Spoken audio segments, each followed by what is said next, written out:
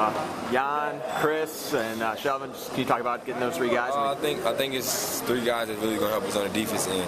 You know, I think uh, it's great to have a good backup in Shelvin that, that can make shots and uh, run the team while I'm out. And Chris, I think uh, he's just a bigger and more athletic and more of a scorer like an Al Thornton type, 6'9", that's athletic, can run the floor and finish. And Vesely, uh, he's just a very athletic kid that, that can finish on a break. So you basically say we kind of like a highlight team now, you know, just like uh, the Clippers, they added some more highlight players. So we got highlight players, and uh, I think we, we really improved on the defense end. Uh, just got to wait till next year and see.